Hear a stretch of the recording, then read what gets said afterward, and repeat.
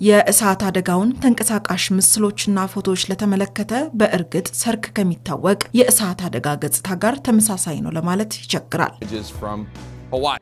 Hawaii. It began on Wednesday. damage like you see behind us. Rescue efforts are still underway in Hawaii.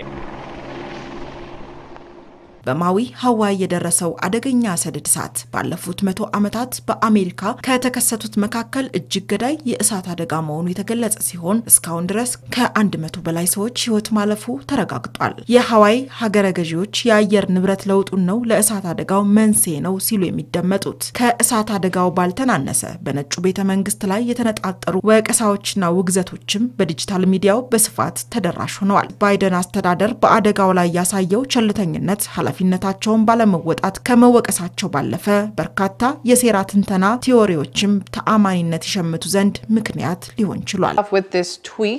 which government of Hawaii state's goal for rebuild is to make the entire island of Maui the first smart island governed by AI. ከአደጋው በፊት የማስጠንቀቂያ ደውሎች ልሳናቸው መዘጋቱ ከተማዋን አፍርሶ ሙሉ ለሙሉ በሰው ሰራሽ አስተውሎት እንደ አዲስ ለመገንባት የነበሩ እቅዶች፣ በቅርቡ በሀዋይ የሚደረግ የዲጂታል መንግስታዊ ስርዓት ጉባኤ ወዘተ የሚሉ ግምቶች እየተገጣጠሙ ከእሳት አደጋው ጀርባ አንዳች ነገር እንደሚኖር የስጋት ትንተናዎችን ቀስቅሰዋል። The governor's technology modernization is በተለይም ሁሉንም ነገር ወደ ኤሌክትሪክ ወደ ታዳሽ ኃይል ምንጭ መለወጥ፣ ፓናሎችና ሁሉንም በኤሌክትሪክ ተሽከርካሪ መተካት የሚለው ይገኝበታል። በሚቀጥለው የመስከረም ወር ሀዋይ የዲጂታል አስተዳደር ጉባኤ እንድታስተናግድ የታቀደ ሲሆን ይህችኑ ደሴት ለማስተዳደርም ሰው ሰራሽ አስተውሎት AI ን ትጠቀማለች። አሁን የተከሰተው እሳት አደጋም የደሴቷን እሴቶች አፍርሶ እንደገና smart ከተማ አድርጎ ለመስራት የተቀነባበረ ነው የሚሉ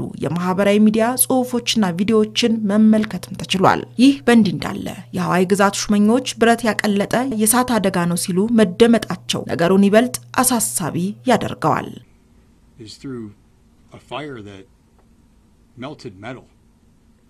ሌላኛው የሴራ ትንተና በተለይም በቻይና ላይ ያነጣጠረ ሲሆን ይኸውም በሀዋይ ሰማይ ላይ ቤጂንግ የሌዘር መሳሪያ ጥቃት ሰንዝራለች የሚል ነው። Yet, even scientists and experts were initially at a loss. ሀዋይ ግዛት የዲጂታል government ላይ ያተኮረ ጉባኤ መስከረም እንደሚካሄድ ከዚሁ ጋር ተያይዞም ለሚሰራጩ የአደጋው መንስኤዎች የእሳት አደጋ የተለያዩ የእውነት ማጣሪያ በሚል ማስተባበያ ሲሰጡም ተስተውሏል። በተለይም ፖለቲፋክት የተሰኘው ድረገጽ እንዳሰፈረው የ smart ከተሞችን የከተማ ፕላን በተመለከተ በሀዋይ ማዊ ባለፈው ጥር የተካሄደው የቴክኖሎጂ ኮንፈረንስ ላይ አጀንዳ ከነበሩ ርዕሰ ጉዳዮች መካከል አንዱ ነው እንጂ ብቸኛው ርዕሰ ጉዳይ አልነበረም ሲልም አስፍረዋል። ባለስልጣናት የሀዋይን የእሳት አደጋ መንስኤ እስካሁን አልወሰኑም። ነገር ግን እነሱ እንደሚሉት እጅግ በጣም ደረቅ ሁኔታዎችና ኃይለኛ ንፋሶች የእሳቱን ስርጭት እንዳፋጠነው ተናግረዋል። የሀዋያን ኤሌክትሪክ ኃይል ኩባንያ የወደቀው የኤሌክትሪክ መስመር እሳቱን ማስነሳቱን የሚገልጽ ሁለት ክስ ቀርቦበታል ሲልም የሆነለሉ ስታር አስተዋዋቂ ዘግቦታል።